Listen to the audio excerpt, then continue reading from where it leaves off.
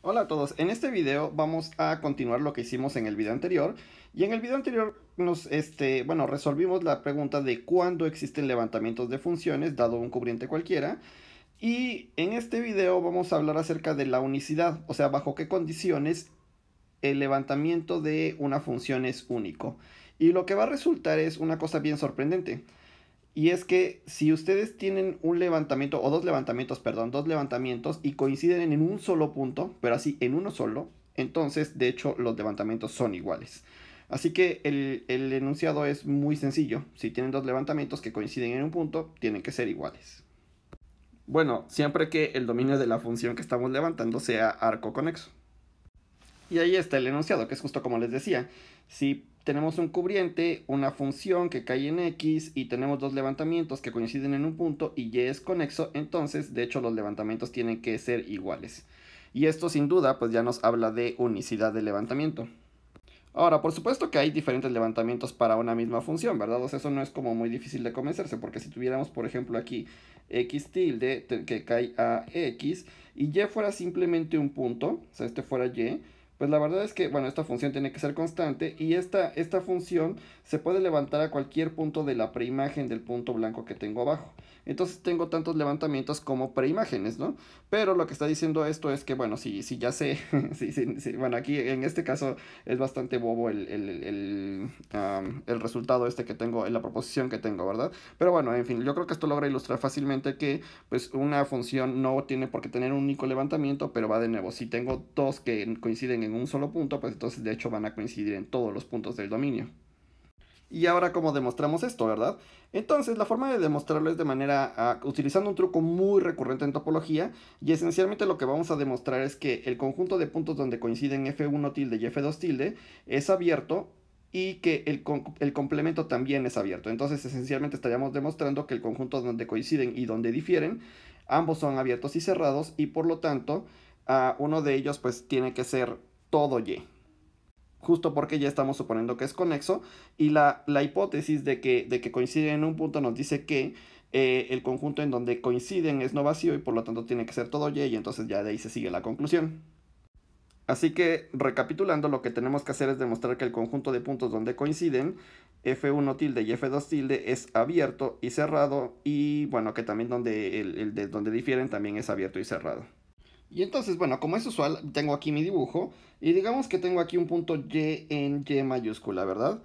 Y, y ¿qué pasaría si, por ejemplo, bueno, vamos a suponer que F1 tilde y F2 tilde coinciden en ese punto Y.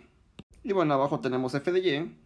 Y ahora lo que podemos hacer es considerarnos una vecindad, digamos, ya vamos a llamarla U tilde, que se proyecte homeomorfamente a una vecindad U abajo y luego también podemos tomarnos una vecindad B aquí, de manera que f de, vamos a escribirlo aquí, f de F1 de B, tilde de B y F2 tilde de B está contenido en U tilde. Esto, eh, esta vecindad B existe por continuidad de F1 y de F2, ¿verdad? Y además, pues bueno, podemos suponer siempre que B es conexo. Y lo que sucede es que si tuviéramos cualquier otro punto como este blanco que estoy dibujando aquí abajo a la izquierda y lo mando para acá, un levantamiento de ese punto en realidad tiene que ir, va de nuevo, ¿no? O sea, tiene que caer en alguna preimagen, pero solamente una de esas preimágenes está en U tilde y por conexidad, pues justamente, ¿no? O sea, estos dos se pueden conectar por un camino, los puedo conectar aquí por un camino y entonces tienen que conectar por un camino. Eso quiere decir que, que la única, el único punto al que se puede levantar este punto blanco es este de aquí, tanto por F1 como por F2. Y eso lo que me dice es que entonces F1 tilde y F2 tilde en realidad coinciden en todo B. Y esto esencialmente lo que nos está demostrando es que el conjunto de puntos, o sea el subconjunto de Y donde coinciden F1 y F2 tilde, es abierto. Y ahora veamos que el complemento de A también es abierto. Noten que este complemento de A es el conjunto de puntos en Y en donde las funciones no son iguales, o sea, no coinciden. Entonces el argumento también lo vamos a hacer así de manera muy gráfica. Digamos que tenemos aquí un punto y justamente en donde las funciones no coinciden. Entonces ahí tengo la imagen de y bajo f1 tilde y bajo f2 tilde. Y entonces ahora quiero aplicar un truco muy muy parecido al de hace rato. Me voy a tomar dos vecindades, eh, u2 y u1, eh, pues de estos puntos que tengo aquí arriba, de manera que se proyecten de manera homeomorfa a una vecindad u en x Y también me puedo construir mi vecindad B, como hace rato, de manera que B esté la imagen de B esté contenida en, pues, en cada uno de estos abiertos, pues bueno, dependiendo de la función que esté aplicando. Y entonces ahora sí puedo proceder como hace rato, ¿verdad? Si me tomo otro punto aquí que le llamo, si quiero, y', y bueno, tengo aquí la imagen de, de o sea, f de y', entonces, la forma de levantar, eh, eh, pues, bueno, f en y', pues es, bueno, tengo que mandar este punto, el, el, el, bueno, el, y', a algún punto de la preimagen bajo p de f de y', ¿no? Y bueno, hay uno aquí y va a haber uno aquí, y pues también puede haber en otros lados, ¿verdad?